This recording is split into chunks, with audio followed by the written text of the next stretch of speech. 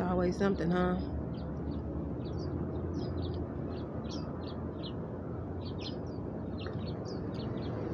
So It's more about what you don't do than what you do do.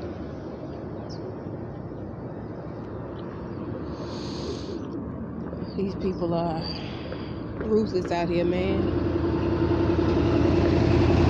I think that's what helps you understand how good you truly are. How much you truly do walk with God when you see how ruthless other people are. When you see how far people are willing to go to disrespect you, to demean you, to make you feel less than. And that, and that is family, that is friends, that's people in public, in random places, in different scenes, people that you interact with. From here on out, I would tell anybody that when you walk into a room, please walk in knowing that you own the place. I don't care if you got two dollars in your pocket, you own that motherfucker.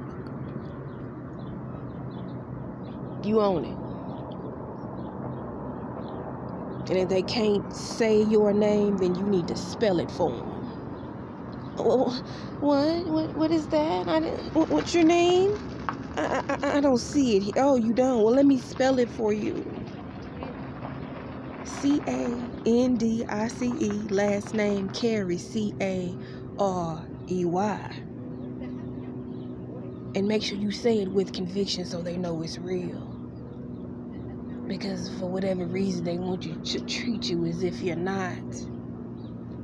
But the only way they will ever truly know is when you do. I hope you continue to have a great rest of the day, and I plan on doing the same. I am Candice Carey. Remember this it doesn't cost you anything to be nice, so make sure you do it freely.